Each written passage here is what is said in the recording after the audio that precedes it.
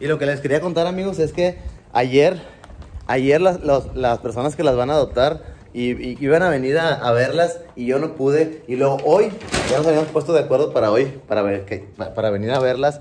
Y ahora ellos no pudieron, pero ellos, están ansiosos por venir a verlas. Ya las quieren ver, las quieren conocer. Y a mí me parece genial que las vayan conociendo para que, para que se vayan adaptando ellas a, a la familia y Cacho también. Este, y que vengan a verlas y luego otra vez y otra vez todas las veces que sea necesario antes de ir a, a llevarlas a su nuevo hogar. Creo que es necesario, casi nunca he hecho ese, ese, ese, ese plan, pero siempre, siempre me ha gustado esa idea de decir, bueno, ven a, ven a conocerlos primero, ven a conocerlos primero, para que se vayan adaptando a ti, sobre todo con los perros que son muy tímidos, algunos perros son muy tímidos y se batalla para que se adapten, y entonces ese proceso estaría bien. Por lo general siempre voy y los dejo yo antes de, de cualquier contacto con el adoptante, pero sí es importante esa parte.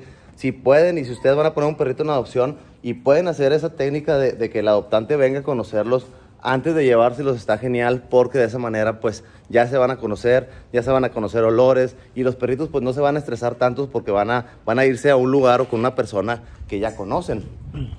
No sé qué opinan ustedes de la situación. Es, es, me parece bien. Lástima que no se, no se pudo, que no pudieron venir. Y, y pues no sé, esperemos que antes de que, de que suceda, que las tengamos que llevar a su casa, pues que vengan a conocerlas. Estaría genial, me encantaría.